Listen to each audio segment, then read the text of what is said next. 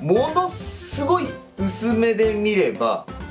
クライブに見えなくもないねでおなじみの刑事チャンネルです。いやいいから一回やってみって。一回やってみすごい薄めに薄めにこう薄めにほらほらほら見えてきたでしょ？クライブに見えなくもないよね。はい目開けて。はい残念でした。刑事チャンネルです。というわけで今日の動画なんですけれどもファイナルファンタジー16の売り上げを予想していこうというそんな動画となっております。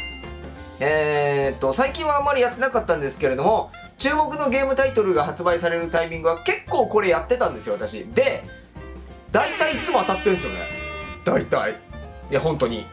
えー、当たってるかもしくは私の売り上げよりも上がるか。だから縁起物だと思ってくださいこの動画は。でも割とね根拠のある売り上げの導き方をやっていきますのでえー、とこの話を聞いてあちょまあまあ説得力あるなって思っていただけたらこれ幸い。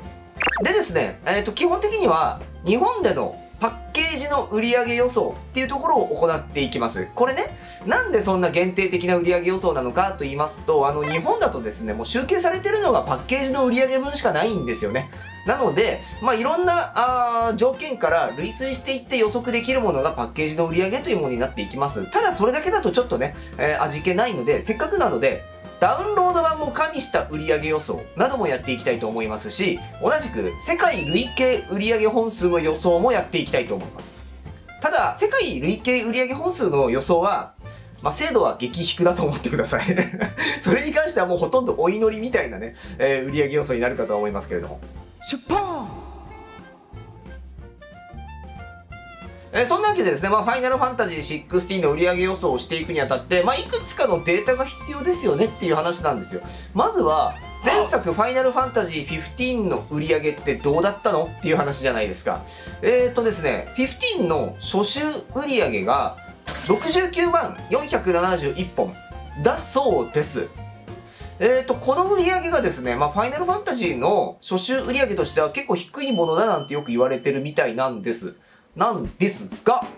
えー、さっきも言った通りこれ集計されてるのはパッケージの売上分だけなので、えー、ダウンロード版は加味されておりません2017年といえばそこそこダウンロード版が増えてきてるタイミングではありますがその辺についても後ほど言及いたしますえっ、ー、と、ファイナルファンタジー15が発売された2016年当時、パッケージの売り上げだけで PS4 で50万本売れるゲームって今までなかったんですよね、それまでは。メタルギアソリッドファントムペインとかも、えっと、その前の年に発売しておりましたけれども、えっと、50万本には届いてませんね、初週売上ということなので、まあ、非常に高い売り上げではあったんですよ。で、そのタイミング、えー、で PS4 のハードってどれぐらい普及していたのかっていう話なんですけれども、発売のタイミングの普及台数はちょっとわからないんですが、2016年が終わった段階で PS4 の普及台数日本国内だと392万台という形となっておりました。えー、でですね現在の PS5 の普及台数が366万台なので結構近いところにいるんですよねそのハードの普及台数っていう点では。条件下としては結構近いかもしれません。まあ、というわけでですねあまり評判の良くなかった「ファイナルファンタジー15」なんですが実は売り上げ自体はすこぶる良くて全世界累計売り上げが発売したその年には600万本を超えていたんですよね。でファイナルファンタジー史上最速の売り上げという形になっていたようです。最終的にファイナルファンタジー15は1000万本売れたゲームとなっております。歴代のファイナルファンタジーシリーズの売り上げも後ほどちょっと見ていきますが今はちょっとその話は置いておきましょう。でですね、えー、さっきもちょっと話しかけたんですけどファイナルファンタジー15が発売されたその年スクエア・エニックスが出しているゲームのダウンロード比率っていうのが普通に発表されておりまして日本での売り上げにおけるゲームのダウンロード比率は16%だったんだそうです。これかなり低いです。その年同じ年に、えー、欧米だと43%という形だったので、まあ、かなり低かったのが伺い知れますね。えー、っとですね直近のスクエアエニックスの日本のダウンロード比率って59%なんですよ。半分以上がもうダウンロード。欧米だと74%、まあ、世界的にパッケージが少なくなっていってダウンロード版が増えていってるっていう傾向は続いておりましたが2016年当時と現在2023年の今ではだいぶ状況が変わっておりますといったところも十分加味することだと思われます。まあ、とはいえ日本はやっぱりそれでもダウンロード比率、まあ、他の国に比べるとちょっと低めなんですよね。でファイナルファンタジー発売したらなおのことパッケージ比率ちょっと高くなるとは思います。えー、いやそういうもんです。人気タイトルの方がパッケージの比率がちょっと上がる傾向があるかな。まあそれでもデータないよなそういうデータ。そういう傾向ありそうだよね。ね、というような形で、まあ、前作から見えてくるファイナルファンタジーの現在の日本での市場のパワー感。っていうのを一旦ご覧いただきました。じゃあここからどうやって導き出すの？っていう話なんですけれどもファイナルファンタジーのシリーズが持ってるパワー感と他のゲームが持ってるパワー感の比率で比較していけば売り上げって見えてくるんじゃないの？っていうのが私の今回の目の付けどころ。えーと例えばなんですけれども2017年。ごめんねその翌年になっちゃうんだけど、えー、2017年の人気作のゲームの売り上げは初週どれぐらいだったのかっていうのをちょっと見ていきたいと思います、えー、2017年。ちょっとあの FF の翌年のねものなんだけど2017年発売の人気作「バイオハザード7」は18万7000本でした。ファイナルファンタジー15に対して27%の割合を占める売り上げ。同じく2017年発売ホライゾンゼロドーン初週売り上げ11万7000本でした。FF15 の初週売り上げに対して17%の売り上げ比率となっております。なんでバイオハザードと、えー、ホライゾンを持ってきたかというと、えー、PS5 でも去年ですねそれらのタイトルの新作が出ているんですよねバイオハザードビレッジは初週売上15万本でした先ほど見たバイオハザード7の比率27%で考えるのであればファイナルファンタジー16の売り上げが55万5555本となります。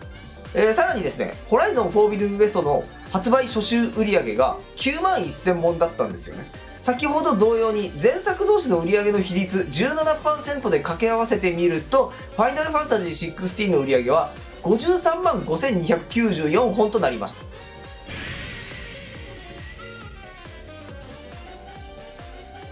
で、割と近い数字が出てきたじゃないですか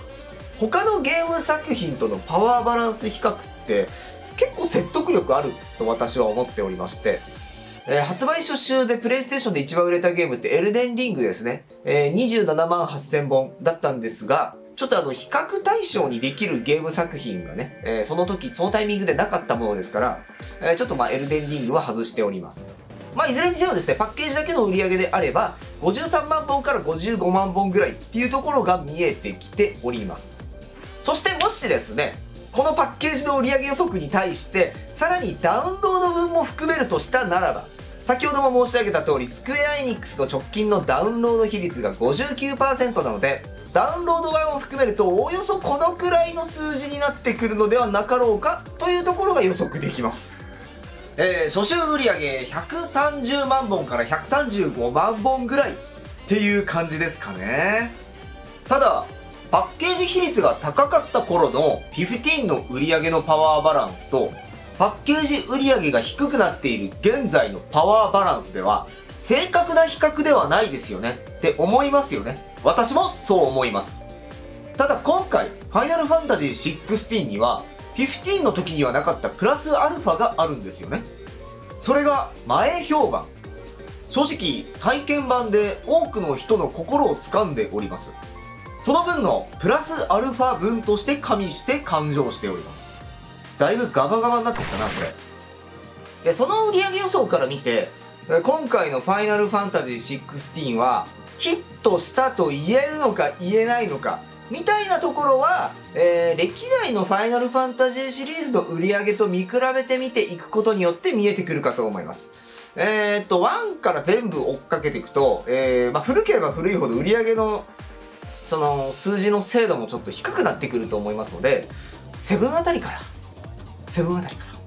ら、えざっと見るとこうなっております。日本での売り上げと世界での売り上げとなっております。えー、日本で一番売れたのは「ファイナルファンタジー7」の400万本という形になるかと思われます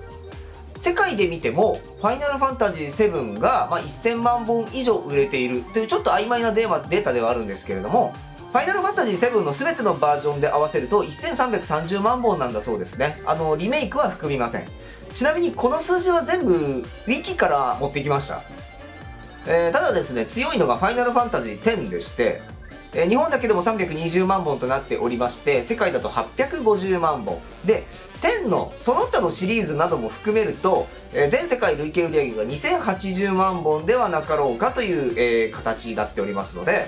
まあ、一番売れた FF 一番人気のある FF ってどれなのって言われたら7もしくは10っていう話になってくるかもしれませんね。えーっと10のリメイクとかも私はもうウェルカムなんですけどあちょっと話脱線する。やばいやばいやばい。せいや！さて話を元に戻しましょう。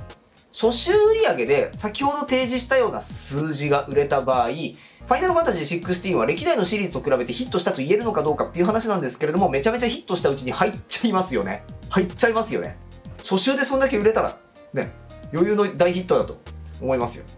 でしかも今作品ってそのプロデューサーもおっしゃってたんですけれどもその今ってまだ PS5 の普及台数はそこまで多くない。多いわけではない。だから今後長いスパンをかけてそのよりたくさんの人に普及して普及させていく。売り上げを上げていくっていうような計画を立てているというふうに言ってますので、えーなので長期で売っていく計画などなどになっていくかと思いますのでその後のね、えー粘り強い売り上げアップでえーひょっとしたらですね、日本国内で一番売れたファイナルファンタジーって何？ってなった時に16ですっていう風になる未来が待っている可能性は私は大いにあり得ると思っております。せいやえーと、じゃあですね、世界累計売上ではどうなってくるかっていう話なんですが、まあ、この辺に関してはちょっとごめんなさい。仮説？いや、ずっと仮説だったけど、えーとですね、ファイナルファンタジー15って、なんか、あの、発売当初から結構評判は悪かったじゃないですか。あれ多分日本だけじゃなかったとは思うんですよね。っていう中で、なぜ、じゃあ、1000万本売れたのだろうか。っていう方にちょっとこうフォーカスして見ていきたいんですよ。でそうなった理由って、まあ、さっき言った通り仮説ですけれども、えーファイナルファンタジー14のシリーズが世界的に知名度を大きくファイナルファンタジーの知名度を大きく上げているのに貢献しているんじゃないかと思ってます。まあもちろん今さっき話したファイナルファンタジー7や10なども人気のシリーズなんですが、やっぱりちょっと古いじゃないですか。今の若い人たち、あるいはファイナルファンタジー15の時代の若い人たちに、それらの作品のおかげで、ね、えーリーチしたかって言われるとそうじゃないと思うんですよね。えー今なお稼働している作品が若い新しいプレイヤーを取り込むパワーっていう点では必要なわけですよね。そうなった時に、ファイナルファンタジー14は、今、世界で最も人気の高い MMORPG なんですよね。そのプレイヤー数は、なんと2320万人を超えていると言われております。故に、ファイナルファンタジー15が世界的に売れた理由って、14の人気が高かったからに他ならないのではないかと思っております。それこそ、ファイナルファンタジー7の後の8ってすごい売れてるんですけれども、7の人気が非常に大きかったから、8の売り上げに影響したのではなかろうかとも考えられます。そうなるとですね、世界中で今なお人気のファイナルファンタジー14が、ファイナルファンタジーの知名度を広げつ広げつつも、今なお広げつつも、さらには、14作ってるチームが新しいの作ったんだよってなったんであれば、14の多くのプレイヤーたちは、遊びたいと思うに決まってますよね。ということで、えー、ちょっとこれ正確な数字はごめんなさい、さすがに出せないんですが、世界売上1000万本を超えることは十分にできるんじゃないかなと思っております。えー、いや、なんかピシャッと入れとく？ピシャッと。ね。いや、うーんとね、今年出たゲームの一番売れてるのが多分、ホグワーツレガシーだと思うんですよ。1500万本。さすがにちょっとそこに並ぶのは難しそうかなっていう意味も込めて、1300万本。で行かせていただきたい。え、これ外したらどうするのかって？外したら、謝罪、謝罪で。謝罪、謝罪で。えー、っとですね、最後に私の希望としてなんですけども、ぜひ、日本国内での売り上げを更新してほしいなってちょっと思っております。めちゃめちゃファイナルファンタジー7が売れまくってて、あの時と、今時代が違うって思いますよね。まあ確かにそうかもしれません。日本でファイナルファンタジーが400万も売れるような時代じゃないのかもしれません。でも今って、日本のゲーム熱は、ゲームの盛り上がりは、過去最高に高いと私は思っております。そこには、任天堂スイッチの人気やモバイルでゲームが遊べるというところもあってゲームに触れる人たちの人口がとても多くなっているんですよね。で今まで常識を壊し続けてきた「ファイナルファンタジー」が日本のゲームの売り上げその常識をもぶち壊してほしいなと強く願っておりますみんなでゲーム楽しもう